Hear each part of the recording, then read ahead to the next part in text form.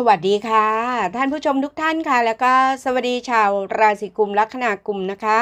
วันนี้เป็นการอ่านดวงความรักรายปากคุมเนื้อหางแต่วันที่ 16 ตุลาคมถึง 31 ตุลาคม 2566 นะคะ อาจารย์ขอขอบพระคุณทุกกำลังใจทุกไลค์ทุกแชร์ทุกคอมเมนต์ทุก subscribe ทุกการติดตามนะคะ ขอบพระคุณมาก ๆ เลยค่ะ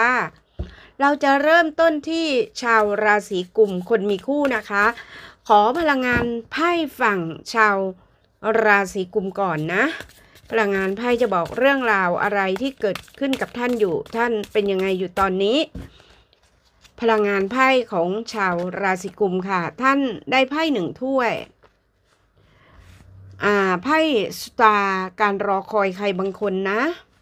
ไพ่สเตรนท์แต่ท่านก็พยายามที่จะเข้มแข็งด้วยตัวท่านเองให้ได้ แม้ว่ามันจะมีความเศร้าความเจ็บปวด แต่พยายามที่จะเอาชนะ ความรู้สึกนั้น พยายามที่จะ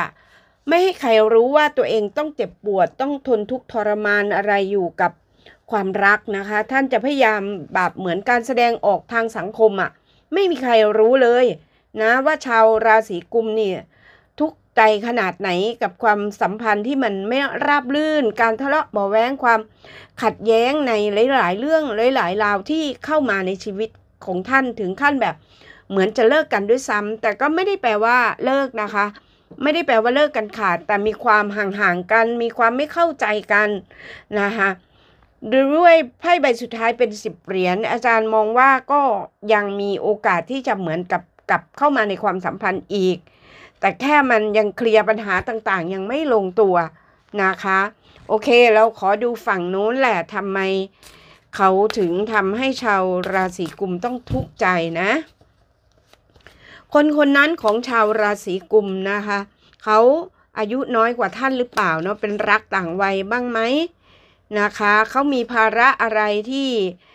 ผูกพันเขาอยู่ก็ได้นะคะ The Hangman ท m บรัน The High Priestess แล้วก็ราชินีไม้แน่นอนอาจจะเป็นสัมพันธ์ของเขาที่มีมาก่อนที่จะเจอชาวตุลนนะ เขามีใครมาก่อนแน่นอนพระราชินีพระจันทร์นะคะ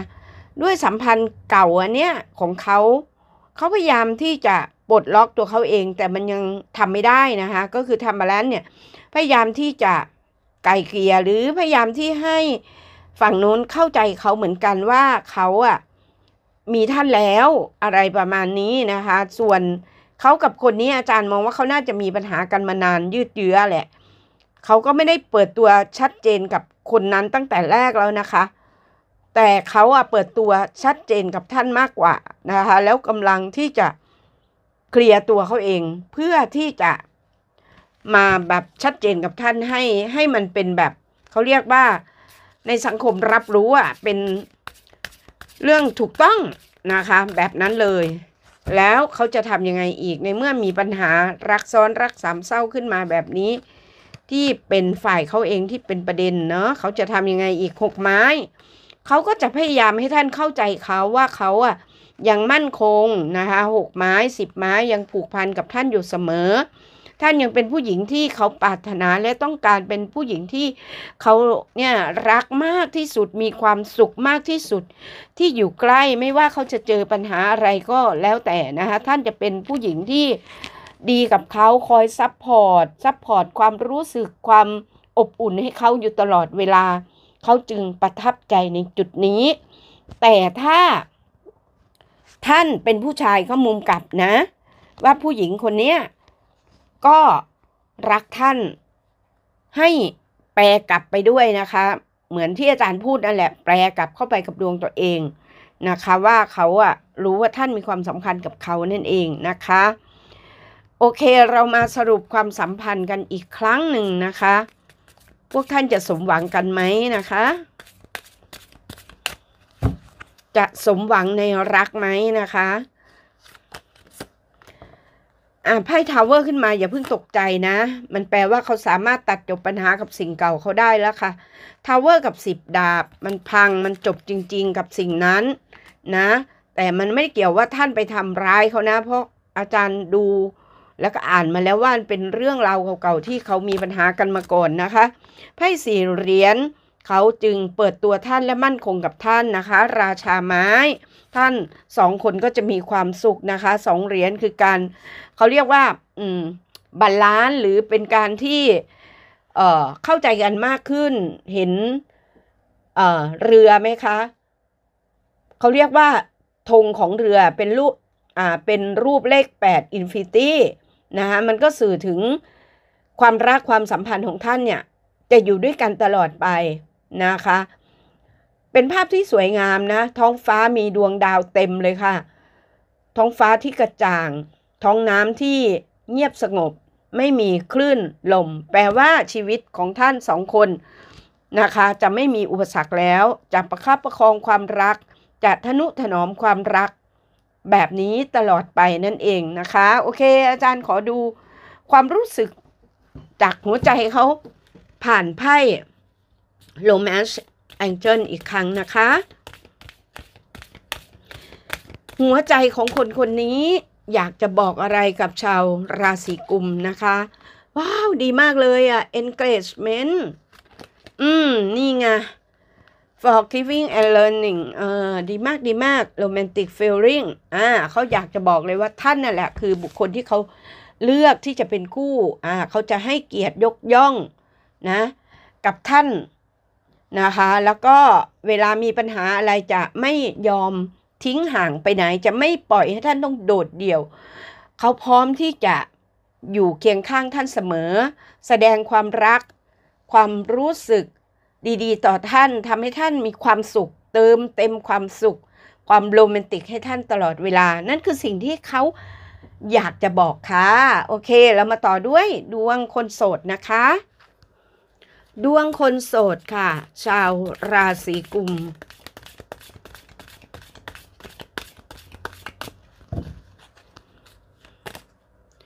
พลังงานไพ่ราชาถ้วย อัศวินดาบ หกดาบเจ็ดดาบแปดไม้เท้า พลังงานคนโสดนะคะอาจารย์มองว่า ท่านรู้สึกว่าสามารถที่จะ control ทุกอย่างได้ด้วยตัวท่านเองแปดไม้ เป็นลักษณะของการพุ่งขึ้นไปสู่ที่สูงอะเป็นการกระโดดตัวลอยเลยนะ คือมันสามารถที่จะ balance ตัวเอง รู้จังหวะรับจังหวะลุกได้ในทุกด้านเลย โดยเฉพาะไพ่วันนี้จะโดดเด่นในเรื่องของงานการเติบโตในสายงาน แต่ถ้าแปลความรักมันก็คือความอิสระของท่านการคอนโทรลความรักด้วยตัวของท่านเองได้อาราชาถ้วยท่านมีความสุขกับสิ่งที่ท่านเป็นอยู่นะตอนนี้อัศวินดาบหกดาบ เป็นพลังงานของการแบบไม่ย่อท้อมันเป็นพลังงานของการเคลื่อนไหวตามพลังงานธาตุลมนั่นแหละค่ะนะคะผลักดันตัวเองก้าวไปสู่จุดสูงสุดด้วยความที่ ชาญฉลาดค่ะให้เจ็ดดาบ จึงแปลความหมายในแง่ของความเฉลียวฉลาดนั่นเองนะคะ โอเคแล้วยังไงต่อความรักจะเกิดขึ้นไหมปักนี้นะคะ คนโสด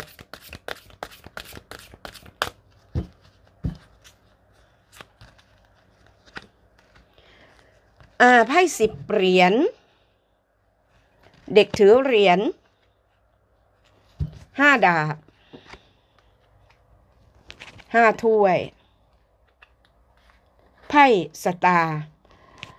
แน่นอนค่ะสิบเหรียญขึ้นมากับเด็กถือเหรียญขึ้นมานะคะ อาจารย์มองว่าจะมีใครบางคนเข้ามาแบบจริงจัง เป็นคู่รักเสิร์ฟความรักให้กับท่าน แล้วท่านเข้าใจกันนะท่านท่านจะรู้เลยว่า คนนี้เข้ามาทำให้ท่านลืมอดีตที่เจ็บปวดได้เลย เขาเติมความสุขให้กับท่านจริงๆไพ่สตาร์ดวงดาว ความสุขความสมหวัง นะคะมาเยียวยาหัวใจที่เคยเจ็บปวดของท่าน มาดามแผลใจให้ท่านแบบเนียนกริบไม่มีความรู้สึกเจ็บปวดอีกต่อไป เพราะจะเป็นพลังงานแห่งความสุขความสมหวังเกิดขึ้นนะคะเพราะสิบเหรียญจะเป็นคู่รักแบบอยู่กันเป็น เป็นหน้าเป็นตาทางสังคมเลยอะนะ ไปไหนไปด้วยกันเปิดตัวไม่อยู่กันแบบลับๆนั่นเองนะคะ นี่คือสิ่งที่จะเกิดขึ้นกับคนโสดนะคะ เพราะฉะนั้นคนเข้ามาก็เป็นได้ทั้งราศีกุมก็ได้นะคะหรือชาวธาตุดินพฤษภกันมังกรก็ได้นะหรือแม้กระทั่งชาวธาตุลมเหมือนท่านก็ได้นะคะตุลกุมเมถุนอ่าก็สามารถเทียบเป็นอย่างนั้นได้ โอเค อาจารย์ขอดูไพ่ คือตัดไพ่เป็นคำสรุปให้ท่านก็แล้วกันนะฮะลุ้นนะคะตัดไพ่แล้วนะคะ